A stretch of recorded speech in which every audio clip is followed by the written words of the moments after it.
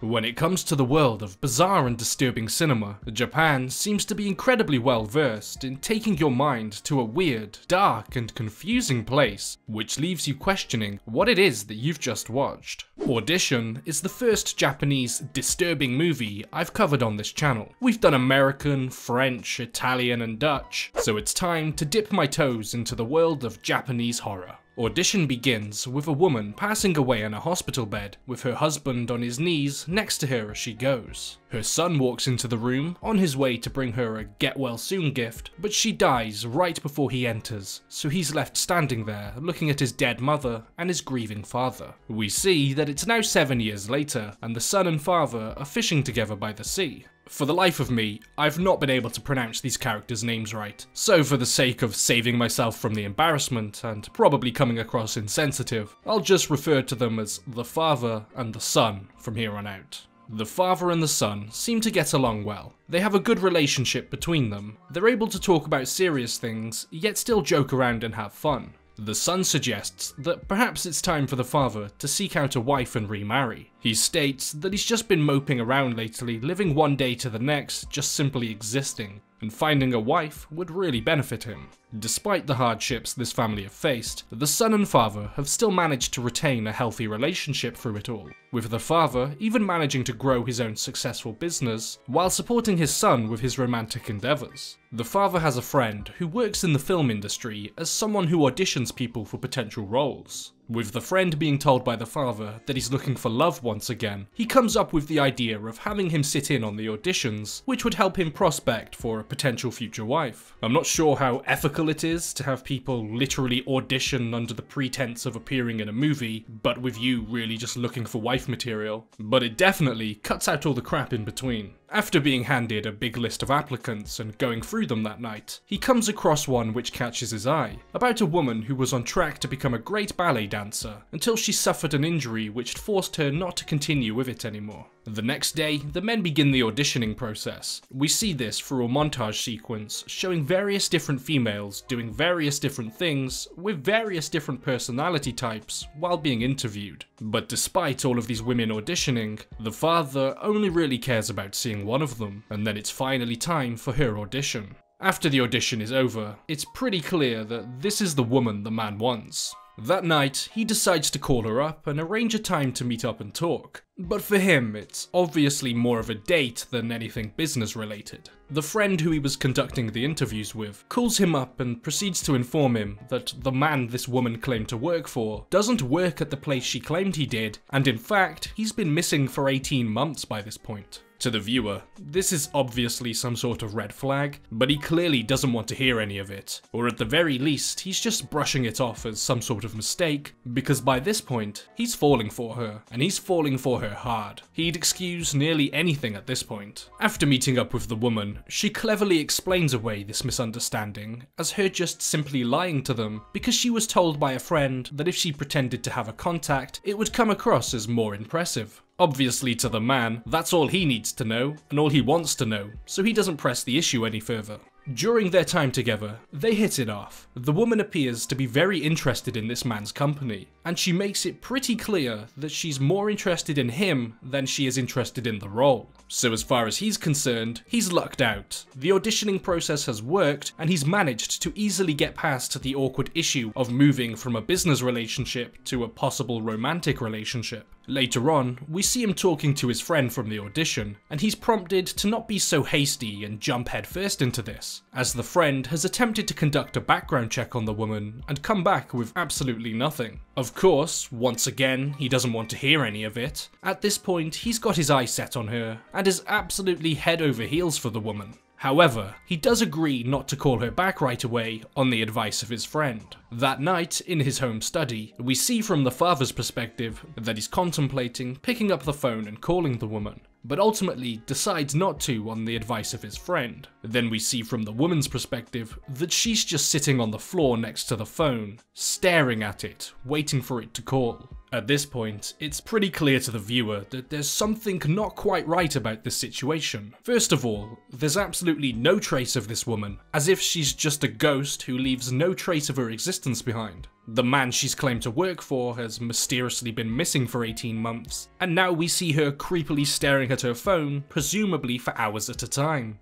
She's a keeper. The next day, we see her passed out next to her phone, but in the exact same position as she was before, meaning she's been there for hours waiting for it to call. While the man is at work, still struggling with the fact that he shouldn't call her. Eventually, he caves in and does it anyway, and as the woman's phone begins to ring, we see her give a disturbingly sinister smile, when all of a sudden, a large sack in front of her bounces across the room. They agree to meet up once again, this time for drinks. We see that they've been talking to each other for so long that the bar is completely empty at this point, except for these two, still chatting away. He decides that he's going to take her away on a weekend holiday trip, and he confides in his son that he plans to propose to her while there. He's only met her like twice and already planning on a proposal. Things must move fast in Japan. While at the holiday home, the woman begins to act strangely, sitting on the bed silently as the man talks to her, turning to the man, getting up, and beginning to remove all of her clothes. She gets into the bed, invites him over, and begins to show him her scarred legs and explaining to him that it was caused by an accident as a child. The man leans in, presumably to engage in some good old fashioned coitus, but then immediately wakes up in the bed alone, confused and disorientated. The phone rings, and it's the reception informing him that the woman has left. After realizing that she's just completely up and disappeared with no warning, confused about the whole situation, he returns to his friend in the city to discuss what happened. He decides to set off on his own in an attempt to search for her, using her CV from the audition and what little information she told him. He visits her old boarded up ballet school, where he meets a wheelchair bound man with decaying looking feet. The man in the wheelchair begins to act incredibly strangely in the way he talks about the woman. We see as the viewer through a series of flashbacks that he was indeed the person responsible for the scars on her legs by crawling over to her while she was a child and forcefully burning her with incense sticks. He learns absolutely nothing useful from this man, so decides to go to the location of a bar where she stated that she sometimes works at. After arriving at the location and attempting to get into the bar, he's informed by a local resident that the bar's been closed for over a year at this point, due to the owner being a victim of a rather grisly murder, resulting in her being cut up into multiple pieces and strewn across the place. When the police arrived to investigate the scene, they discovered that there were in fact extra fingers, an ear, and a tongue which didn't belong to the murder victim. Okay, maybe she's not a keeper. After an uneventful search, which found nothing more than a creepy guy in a wheelchair and bizarre hallucinations of seeing the murder victim's tongue move about the place, he decides to go home and sit back in his chair and have a glass of whiskey. After taking a sip, he begins to realize something isn't quite right before standing up and struggling to move, with him then falling backwards. He enters a bizarre nightmare situation where his mind is serving as his own worst enemy, putting him into one uncomfortable situation after the other. All of a sudden, he's sitting having dinner with the woman before he looks over to see his deceased wife, now alive, his son when he was a child, and his present teenage son's girlfriend. He's then at the woman's house, the place where we saw her watching the phone. She begins to perform a sex act on him, but every time he looks down at her, it's a different woman from his life. Scared and confused, he attempts to flee this bizarre scenario, but trips over the large sack in the room. He goes to investigate the peculiar bag, when all of a sudden it jumps up and a naked, mutilated man begins to crawl out of it. His feet are missing, one of his ears are gone, he has no tongue, and multiple fingers have been removed. This is the owner of those extra body parts found at the grisly scene of the bar owner's murder. All of a sudden, the woman is there. She begins to puke into a dog bowl before entering the room and feeding it to the mutilated, disheveled man. We see the woman with her stepfather, the man who abused her as a child and burnt her legs. She begins to wrap a metal wire around his head. She starts to pull it tighter and tighter until eventually the head pops right off. This insane sequence of events running through this drugged man's mind is only happening for about one second in real time. It's all occurring in the amount of time that it takes him to fall backwards from the standing position until landing on the floor. Now back in reality, he discovers he cannot move and is paralyzed. He sees through the next door that the woman is there, and behind the woman is his dead and mutilated dog. She enters the room and begins to explain to him that he is completely paralyzed and stuck in place. However, his nerves are completely alive and will be able to feel absolutely everything. In fact, the feeling in his nerves will be more intense due to the paralysis. And then she begins to inject something into his tongue. She explains to him that he's no different from the other men, simply using the audition process to find women to sleep with and then chuck them to the side once he's done with them. Before then, producing a large thin needle and slowly inserting it into his stomach admiring the process of doing it, having fun, as if it's just a little game to her. After inserting multiple more into his stomach, she moves to his eyes. She inserts multiple beneath his eyeballs and begins to flick them as they're protruding from this man's skull. After she's done poking him with holes, she redirects her attention to his feet. But for this, she's got something other than needles. She produces the same metal wire from earlier, wraps it around his ankle, and then begins to slice off his foot by sliding it back and forth, with an almost orgasmic look on her face. She is clearly taking immense pleasure in slowly but surely torturing this man to death. Without a single ounce of hesitation, after the first foot is removed, she jumps right to the second one and begins. However, she is interrupted by the man's son returning home. She hides, and as the father is lying paralysed on the floor, he can barely let out any noise to warn his son about the immediate impending danger.